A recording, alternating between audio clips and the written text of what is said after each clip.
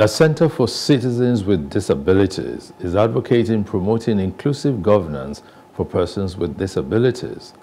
Executive Director of the center, David Anyaele, expressed dissatisfaction at the exclusion of persons with disabilities in national affairs.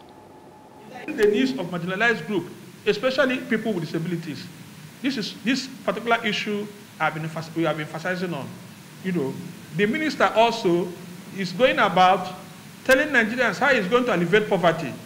But the people that carry poverty wherever they go, she has never made a single statement on how will, their poverty will be alleviated. You will agree with me that when we talk about poor people, when we talk about people that can beg, when we talk about people that can struggle much more to benefit, it is people with disabilities.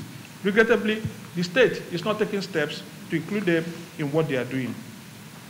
Similarly, Minister of Women Affairs, Mrs. Uju uh, Ohanenye Kennedy, said she will prioritize empowering more Nigerian women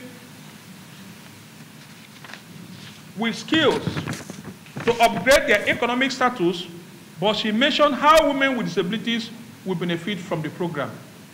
These are the issues we are talking about. So every minister, be it communication, be it youth and sports, be it uh, health, they will tell you how women and young people will benefit from government, but they are always silent on people with disabilities. So, uh, my comment on what has been said is that the, the nation seems to not to understand that by disempowering 30 million people out of a population of not up to 300 million. Hello. Hope you enjoyed the news. Please do subscribe to our YouTube channel and don't forget to hit the notification button so you get notified about fresh news updates.